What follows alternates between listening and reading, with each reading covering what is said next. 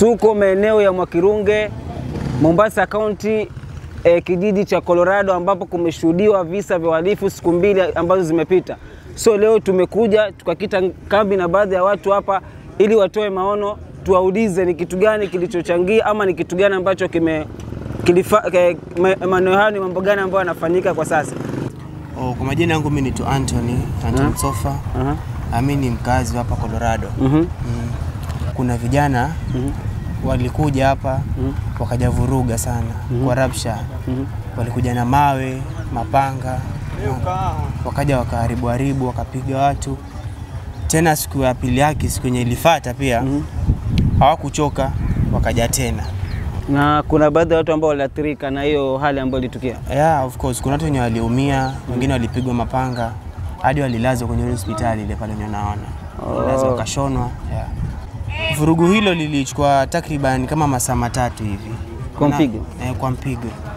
Ilianza mida kama saa moja na nusu mpaka saa tatu na nusu vita tu, mawe, chupa kama mawe vile unavyo- unavyoona ame- amesambaa hapa mawe. Haya ndo ni mawe yenye yalitumika juzi.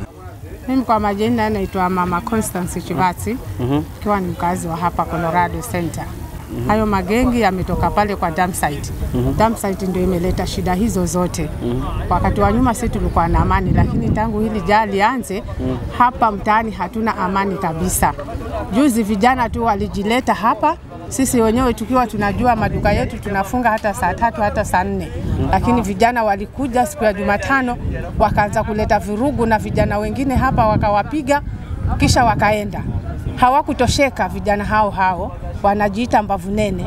Siku ya pili Alhamisi ndio walikuja wakafanya mbaya kabisa, yaani walipiga watu hata mmoja akiwa sasa amepigwa hajui afanye nini, aliingia kwa nyumba yangu mimi akanipita mbio. Huyo kijana sasa anajiokoa, alipita kwa nyumba akasukuma mlango akaingia na ule mlango akaufunga. Mimi niko nje nikishtuka, ni nini sasa, nani ameingia hapa ndani? Nikawa na wasiwasi. Vijana wao walikuwa wanaingia wasukume huo mlango. Mtoto wangu amezaa juzi, akasema kuna mwanangu mchanga, tafadhali mwacheni. Ndo huyo mtoto akapon, huyo kijana akaponea kwa sababu yule amelalamika kwamba kuna mtoto mchanga. Walikuwa wanamfuata mpaka kwa ndani ya nyumba hawakutosheka, walianza kuchukua mawe sasa. Basi wakapiga mawe huku, wanatukana matusi mazito mazito, wanasema Colorado hamtuwezi, vijana wa Colorado hamtuwezi. Eh, sisi kwanza sisi tume, tume, tume tumesaini kifo, hatujali chochote. Wameshika mapanga, wameshika magongo, wengine wako na mawe. Sasa wakaanza kurusha mawe, walirusha mawe, hiyo nyumba yangu ilipigwa. Hata kama angekuwa ni mtu hapo alipo, angekuwa sahihi ni mauti. Mimi nilikuwa naomba serikali ilete kituo cha se- security hapa karibu, police booth hapa karibu, hapa dump site tena haraka iwezekanavyo, maana sisi hapa saa hii hatuna amani kabisa. Tuko na wasiwasi, mchana ni afadhali, lakini ikifika jioni hujui ufanye nini. Mpaka saa hii mtu hata ukimtuma mtoto dukani saa moja pale hawezi enda, ni mwoga. Mimi nilikuwa naomba hivi uh -huh. hii dump site nafikiri mlengwa wa hii dump site ni MCA. Naomba pia MCA ashughulike na hii hali vile ilivyo, na hii dump site kama haitashughulikiwa, haitaboreshwa, basi wacha serikali ya kaunti iangalie ni mahali gani itapeleka hili jaa, manake sisi wa Mwakirunge tumechoka. Ongeza kitu, tunataka huyu gavana wetu aliopata mwaka huu afanye utafiti pale, aweke aweke fence na kuwe na ulinzi wa kutosha, maanake sisi hata hatuna mahali pa kuenda sahihi. Wakora ni wengi, na kupelekwa ripoti kama hivyo, wao wakawa wanatulia huko, lakini sisi twahangaika, hakuna askari, hakuna chochote ambayo waje kushughulika na hilo jambo. Eh, kwa hivyo tunataka wafanye bidii. Baada ya kupata maoni ya wakazi wa Colorado Mwakirunge, tuliamua kuchukua hatua hadi kwa mzee wa mtaa, na mzee wa mtaa naye alikuwa na mengi ya kusema kulingana na swali hilo la e, ukosefu wa usalama. Na bwana mzee mtaa, habari yako? Mzuri mzee. Kwa majina kamili unaitwa nani? Mimi kwa majina najulikana kama Katana Chikwangu. Katana Chikwangu, wewe ndo mzee wa mtaa wa ile eneo la Colorado. Mtaa wa Colorado. Wako na hii mambo na uhalifu ambao tumesikia kutoka kwa wakazi wa eneo hili, ni kweli? Uko na hizo habari? Eh, hizo habari zili ni kweli zilikuweko juzi mm -hmm. kuamkia jana. Mhm.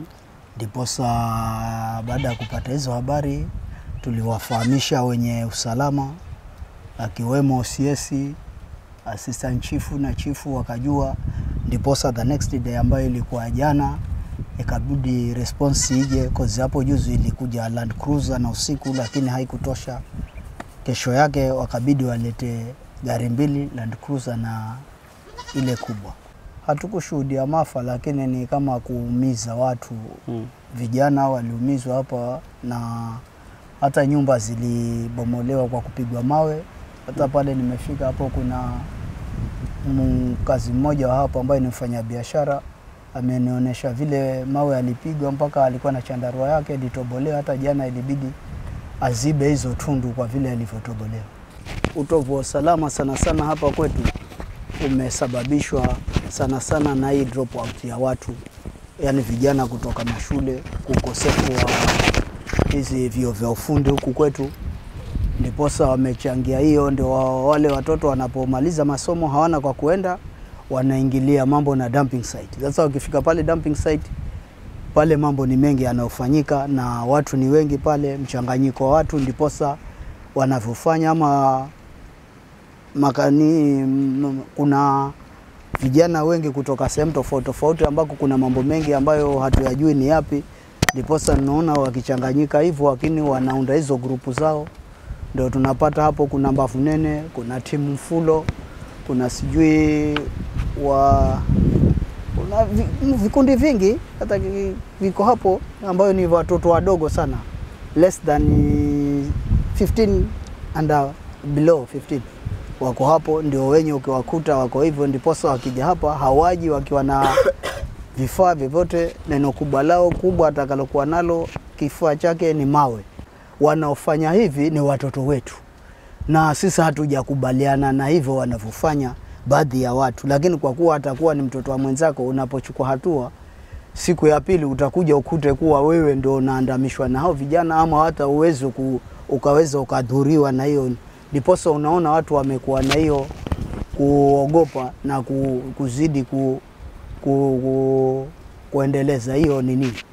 Labda wangu mwito wa mwisho nitasema labda area MCA akaweze kuungana na the administration ambayo ni interior na hiyo ya mambo na administrators wakaweze kuangalia hili jambo, manake kama ni ripoti tushapeleka, labda wao wawe na msukumo wa kutusaidia hawa vijana ama haya makundi yakaweze kuja kunini. Lingine ni county government through the MCA wakaweze kujenga hiyo ua, kozi ikija ikizungushwa hiyo ua labda itatusaidia kwa hili ama lingine, kozi wale watakaokuwa wakiingia pale watakuwa wakiingia watu wazima na wala si hawa watoto kozi ina madhara mengi. Hata hiyo dropout tumepata mimba za mapema, ndoa za mapema ziko, na hata maboma ya wenyewe. Watu wengi hawa mabibi za watu hapo wanaolewa hapo hapo kiholela, nyumba zinavunjika kivyo hivyo, ndiposa tunapata mambo mengi. Ndo unaona hizo changizo za kutokuwa na usalama huwa inachangia. Yes, kwa majina kamili naitwa Leonard Mangale Faris. Mimi ni mkazi hapa Jaani na ni kiongozi. Kiongozi ni kwamba mimi ni mzee wa mtaa wa hapa Jaani. Hapa majuzi kulitokezea mkasa wa ku- wa kuhuzunisha sana na kutisha Mwakirunge nzima na vitisho kuhusiana na vijana wanaojulikana kama mbavu nene. Kwa ujumla, kikosi hichi ni kadri cha watu kama 40 hivi wenye umri wa miaka mdogo sana, miaka kumi na nane hadi miaka ishirini hivi. Katika, katika hiyo katika hicho kisanga kili kili- kiliwapatia jamii jamii wa Mwakirunge hofu kubwa sana, kwa sababu gengi hili lilitokezea kwa ghafla, kwa fujo na kujihami kwa mapanga, kwa visu na mawe na zana tofauti tofauti, na kuelekea Colorado pale na kuleta ramsha ya kupiga watu na kuumiza watu vijana, mpaka madunga yote, maduka yote kufungwa na, na biashara zote, wale walikuwa wanafanya biashara zote na kufungwa. Utovu wa nidhamu ni kwamba katika kuna kuna habari mbili zilijitokeza. Ya kwanza kuna kijana mmoja alifariki Yeye pia alikuwa ni mwizi katika hilo gengi hilo, nadhani alifukuzwa huko sehemu ya Kashani hapo, akauliwa sehemu ya Jangwani hapo. Hiyo ndio mojawapo pia ilikuwa ni kambi ni kisanga kwao kulipiza kisasi, kusema kana kwamba huyo kijana aliuliwa upande wa Colorado, lakini kumbe huyo kijana alikuwa ameuliwa upande wa, wa Kashani. Ya pili tukisikiza ni tetezi kana kwamba kuna habari tu wao wenyewe waliamua ya kwamba tu hicho kisanga vile kilivyotokeza na, na mwenzi wao kufariki ndio akaleta purukushani hizo mizozo hiyo hapo Colorado hivyo. Mbavu Nene ni kikundi ambacho hakikujiandikisha, ni Mbavu Nene tu ni kikundi ambacho kiko hapa Jaani.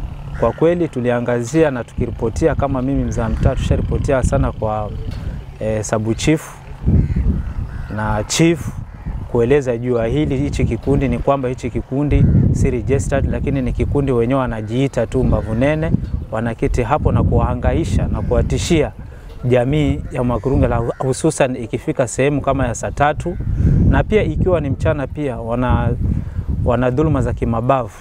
Pale wanapofanya kazi hapo timboni, kuwadhulumu akina mama e, kiupande kuwaibia simu kuwapiga wazee ile kupata haki yao pale kuchokora, wanawapiga na migongo ya mapanga, na wanasikia tena pia wanawapiga madereva pia e, na kuwapokonya simu e, na pia kuwa, kuingia katika majumba yao katika hao ambao wasiojiweza pale na kuchukua bidhaa na kukimbia nazo.